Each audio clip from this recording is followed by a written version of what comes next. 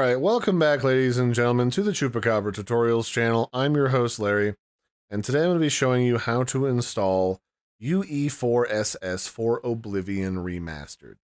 And it does offer uh, a button for using Vortex. I don't know how well Vortex works because it's not mentioned in their README. So we're just going to go through and install it manually because it's going to go real quick. So the files they have right here are the UE4SS, and then down here they have the BP mod loader optional files and the FText signatures for Steam, which you may or may not need. Uh, if you need to grab that, you can download all of these and put them in the same file. So I just need to use this one, this main one, because I'm running off of Xbox.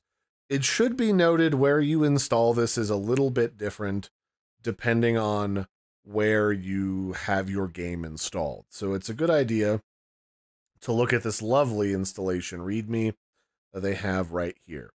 So there's a guide here for Steam, and really the thing that changes here mainly is where your stuff is installed.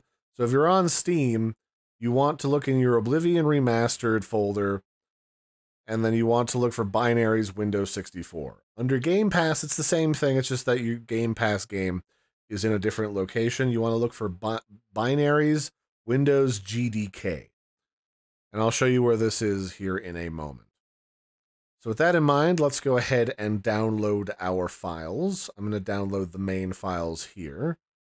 I'm going to do the manual download, the slow download, and I have an Oblivion Remastered mods folder that I'm going to stick this in, all nice and set aside for our use today. And while this is downloading, I'm going to locate where my Oblivion game is installed. And there's a really easy way to do this. It works both through Steam and through Xbox. On Xbox, all I have to do is right click the game in question and then go to manage. And then in this pop up, I can browse where the files are located. In Steam, same idea. You can go to any game, let's say Helldivers as an example, because I don't have Oblivion on Steam. I can right click it, I can go to manage, and I can click browse local files. Just do that for your Oblivion install and then find your Win64 folder. In the case of oh, Xbox, I'm going to look for my Windows GDK folder. So I'm going to browse files, and then I want to go to my Oblivion Remastered content, Oblivion Remastered binaries Windows GDK. And that's where I want to put my files that I extract for this mod. So I think the mod is now just about to finish downloading. Here it is. I'm going to extract it to a file of the same name. And these are the files I need to copy. And then I'm going to paste them into my Windows GDK folder over here. So I'm going to pop these in here and paste them. So now, if I have mods that are controlled by or supported by UE4SS, I open the UE4SS file, and then inside of here is a mods folder, and then you just stick all of the compatible mods inside of here. Pretty easy. And then let's double check the next steps here in their installation README just to make sure we're doing this correctly. So once you've got that installed and plunked in, we need to go to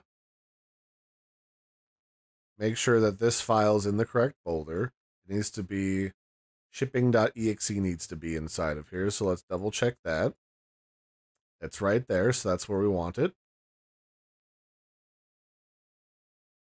And then if you need to install the signatures file, some mods will require it. You can just plunk it right in here as well.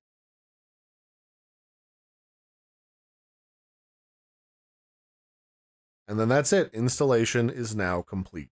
So now we can boot the game and it should work just fine. It'll just boot using that launcher stuff that's now inside of the, the mods folder. So it looks like it is working correctly. So we are good to go. That's pretty much all you have to do.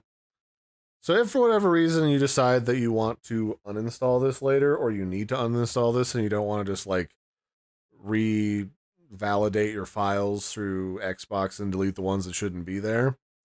We can go back into our folder for all of this stuff.